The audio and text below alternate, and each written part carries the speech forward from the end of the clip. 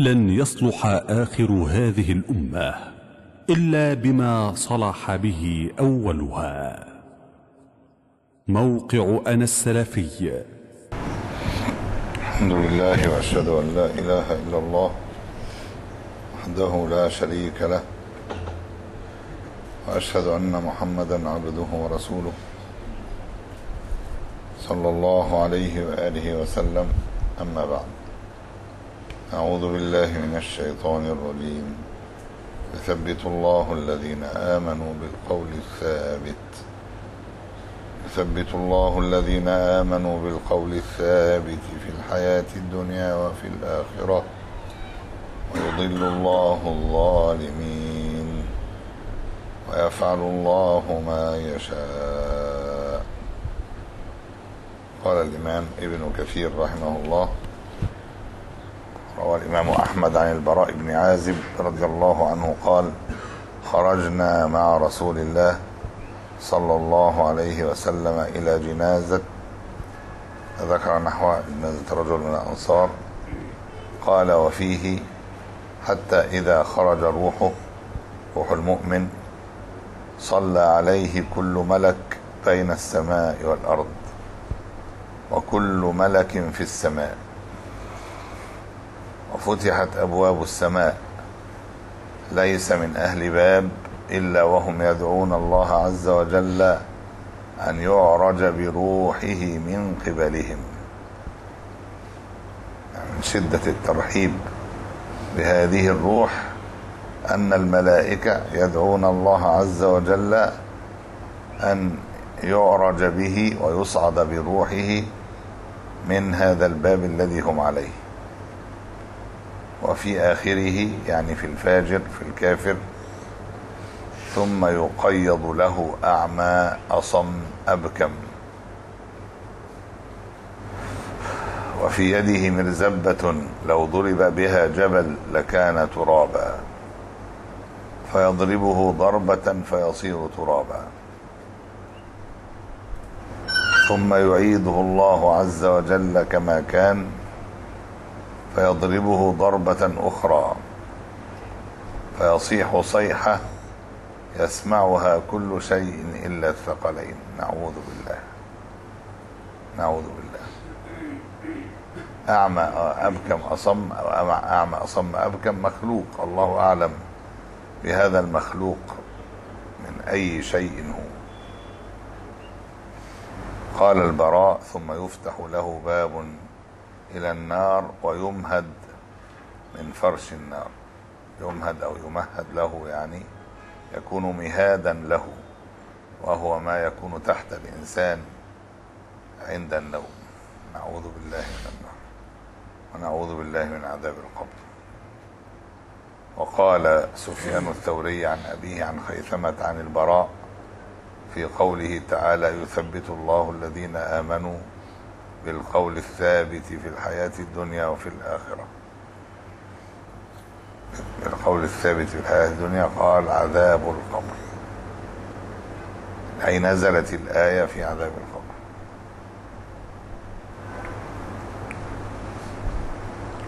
وروى المسعودي عن عبد الله قال إن المؤمن إذا مات أجلس في قبره فيقال له من ربك ما دينك من نبيك؟ فيثبته الله فيقول ربي الله ودين الإسلام ونبي محمد صلى الله عليه وآله وسلم. وقرأ عبد الله يثبت الله الذين آمنوا بالقول الثابت في الحياة الدنيا وفي الآخرة. وروى الإمام عبد بن حميد عن أنس بن مالك قال قال رسول الله صلى الله عليه وسلم إن العبد إذا وضع في قبره وتولى عنه أصحابه إنه لا يسمع قرع نعالهم. هذا دليل على سماع الأموات. والصحيح في هذا أن الأموات يسمعون في قبورهم ما ورد به الدليل والأصل أنهم لا يسمعون غيره. لقول الله عز وجل وما أنت بمسمع من في القبور. فظاهرها تشبيه الكفار بمن في القبور ولا يصح أنهم لا يسمعون ولا يفهمون ولا يستجيبون. مع صحة الآلة مع صحة الحاسة. لا يصح الاستعمال إلا مع كون من في القبور لا يسمعون. والله أعلى وأعلم. هذا مما ورد به الدليل أنه يسمعه الميت وإنه لا يسمع قرع نعالهم. هذا مما استدل به جمهور العلماء على أنه يجوز أن يمشي بين القبور بالنعال وأن حديث صاحب السبتيتين يا صاحب السبتيتين اخلع سبتيتيك إنما هي في نعال عليها شعر. غالبا كان من يلبسها يعني يتكبر فيها في وقتهم.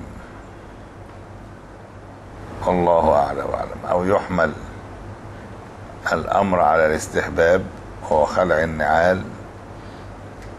وبعض العلماء قال السبتيه فقط التي عليها شعر هي التي يؤمر بخلعها. بعضهم قال خلع على الاستحباب وهذا الحديث يدل على الجواز. قال فيأتيه ملكان فيقعدانه فيقولان له ما كنت تقول في هذا الرجل؟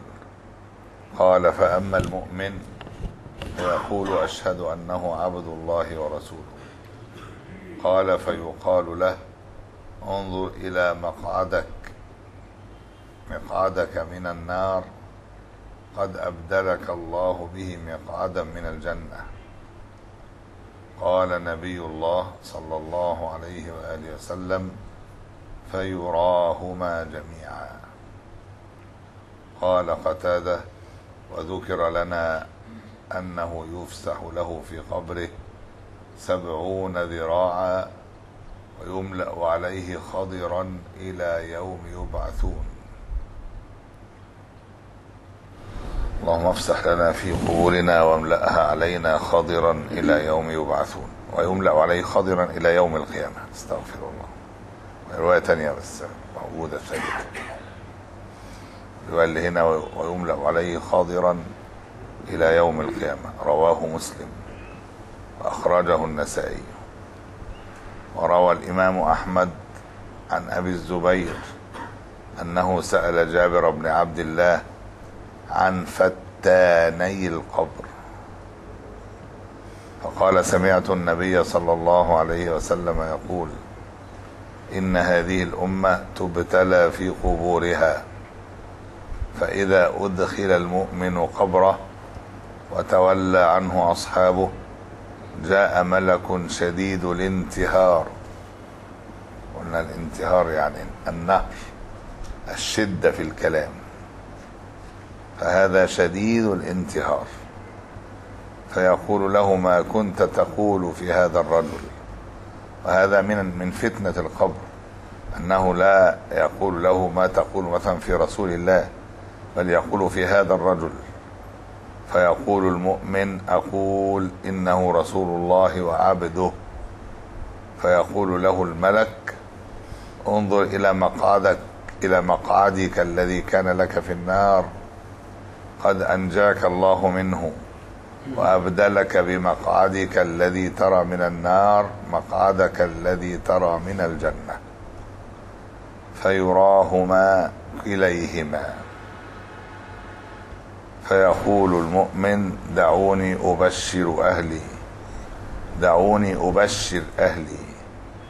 فيقال له أسكن. وأما المنافق فيقعد. إذا تولى عنه أهله فيقال له ما كنت تقول في هذا الرجل. فيقول لا أدري أقول كما يقول الناس كل واحد بقى والنشأة اللي نشأها ممن يكذبون الرسول صلى الله عليه وسلم من اليهود والنصارى والمشركين وعباد البقر والبوذيين والملاحدة. نشأوا على التقليد فيقول كنت أقول أقول كما يقول الناس. فيقال له لا دريت. هذا مقعدك الذي كان لك في الجنة. قد أبدلت مكانه مقعدك في من النار. اللهم إنا نعوذ بك من ذلك. وهذا الحديث يدل على مسألة عبودية الرسول صلى الله عليه وسلم. عبد الله ورسوله ليس كالكفرة الغلاة من الصوفية الذين يقولون أنه غير مخلوق. هؤلاء كفرة والعياذ بالله. يقولون أن الرسول هو النور الذاتي لله عز وجل ويفترون على الله الكذب فما قال الله ذلك؟ وإنما هو سراج منير صلى الله عليه وسلم بهداية القلوب وعبد ورسول قال إنما أنا عبد فقولوا عبد الله ورسوله. سبحان الذي أسرى بعبده ليلا وأنه لما قام عبد الله يدعوه نبرأ إلى الله من ضلالهم. قال جابر فسمعت النبي صلى الله عليه وسلم يقول يبعث كل عبد في القبر على ما مات عليه المؤمن على إيمانه والمنافق على نفاقه. ده بعث في القبر يعني رد الروح إليه ليسأل قبل البعث يوم القيامة. قال إسناده صحيح على شرط مسلم ولم يخرجاه وروى الإمام أحمد عن أبي سعيد الخدري قال شهدنا مع رسول الله صلى الله عليه وآله وسلم. جنازة. شهدنا مع رسول الله صلى الله عليه وسلم جنازة أو جنازة كلاهما صحيح. فقال رسول الله صلى الله عليه وسلم يا أيها الناس إن هذه الأمة تبتلى في قبورها. فإذا الإنسان دفن وتفرق عنه أصحابه جاءه ملك في يده مطراق. المطراق ما يطرق به على الحديد فيضرب به أو يعني المثل فيما يضرب به الناس. قال في يده مطراق فأقعده. قال ما تقول في هذا الرجل؟ فإن كان مؤمنا قال أشهد أن لا إله إلا الله وأشهد أن محمدا عبد الله ورسوله. فيقول له صدقت. ثم يفتح له ثم يفتح له بابا إلى النار. فيقول هذا كان منزلك لو كفرت بربك. نعوذ بالله. فأما إذ آمنت فهذا منزلك.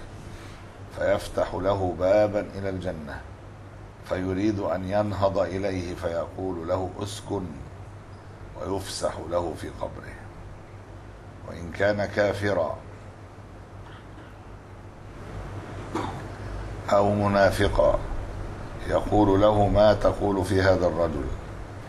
فيقول لا أدري. سمعت الناس يقولون شيئا. فيق... فيقول لا دريت ولا تليت ولا اهتديت. لا دريت بنفسك ولا اتبعت من يدري ولا اهتديت إلى الحق. قال فيق... فيقول لا دريت ولا تليت ولا اهتديت. ثم يفتح له بابا إلى الجنة. فيقول هذا منزلك لو آمنت بربك. نعوذ بالله من الكفر. فأما إذ كفرت به فإن الله عز وجل أبدل أبدلك به هذا فيفتح له بابا إلى النار. هذا للحسرة يتحسر على ما فاته وكان أعد له لو آمن فيزداد حسرة. ثم يقمع قال ثم يقمعه قمعة بالمطراق. يسمعها خلق الله عز وجل كلهم غير الثقلين. يضربه ضربة على رأسه فينقمع ويخضع ويذل. نعوذ بالله. فقال بعض القوم يا رسول الله ما أحد يقوم عليه ملك في يده مطراق إلا هيل عند ذلك. هيل زي انهار أو عجز أو خاف خوفا شديدا. فقال رسول الله صلى الله عليه وآله وسلم يثبت الله الذين آمنوا بالقول الثابت. وهذا أيضا إسناد لا بأس به. فإن عباد بن راشد التميمي روى له البخاري مقرونا ولكن ضعفه بعضهم. حسن. وده الملك الأصم الآخر؟ لا ما عندناش معرفة. أهو ده بعد كده. ممكن ده يقيد له الأصم الأعمى الأصم أو كان بعد ذلك. لكن الملك بيتكلم أهو. ماشي. بس ده عند السؤال. يعني الملك ده مش أبكم لأن هو إيه؟ بيكلمه واخد بالك؟ ويسمع إجابته. اللي, اللي بعد كده هو اللي هيقيد له أعمى أصم أبكم. لكن المطراق ده موجود لكل واحد والمطراق نفسه من الفتنة. إنه إنه هيوقف على رأسه بمطراق فهذا فتنة عظيمة. ممكن ما يعرفش هو يسأله عن هذا الرجل. فهو يعني لا يدري ماذا سيفعل به. اللهم إنا نسألك العافية. اللهم ثبتنا بالقول الثابت في الحياة الدنيا وفي الآخرة. وروى الإمام أحمد عن أبي هريرة عن النبي صلى الله عليه وسلم قال إن الميت تحضره الملائكة فإذا كان الرجل الصالح قالوا اخرجي أيتها النفس المطمئنة. ها؟ طيبة؟ أنا عندي اخرجي أيتها النفس المطمئنة في نسخ أيتها النفس الطيبة. ك- كانت في الجسد الطيب. ها؟ نفس الطريقة كانت في الجسم الطيب عندنا قال اخرجي أيتها النفس المطمئنة كانت في الجسد الطيب. اخرجي حميدة وأبشري بروح وريحان ورب غير غضبان. اللهم نسألك الروح والريحان. اللهم اجعل نفوسنا مطمئنة طيبة. قال فلا يزال يقال له ذلك حتى تخرج. تخرج الروح تخرج بسهولة ثم يعرج بها إلى السماء فيستفتح لها فيقال من هذا فيقال فلان فيقولون مرحبا بالروح الطيبة كانت في الجسد الطيب. ادخلي حميدة وأبشري بروح وريحان ورب غير غضبان. قال فلا فلا يزال يقال له ذلك حتى ينتهى بها إلى السماء التي فيها الله عز وجل أي التي فوقها الله عز وجل لأن الله فوق عرشه فوق السماء السابعة. قال وإذا كان الرجل السوء قالوا اخرجي أيتها النفس الخبيثة. كانت في الجسد الخبيث. اخرجي ذميمة وأبشري بحميم وغساق وآخر من شكله أزواج. فلا يزال يقال لها ذلك حتى تخرج. ثم يعرج بها إلى السماء فيستفتح لها فيقال من هذا؟ فيقال فلان. فيقال لا مرحبا بالنفس الخبيثة. كانت في الجسد الخبيث. ارجعي ذميمة فإنه لا تفتح لك أبواب السماء. فيرسل إلى فيرسل من السماء ثم يصير إلى القبر. فيجلس الرجل الصالح فيقال له مثل ما قيل في الحديث الأول. ويجلس الرجل السوء فيقال له مثل ما قال في الحديث الأول. ورواه النسائي وابن ماجه من طريق ابن أبي ذئب بنحوه. أقول قولي هذا وأستغفر الله لي ولكم.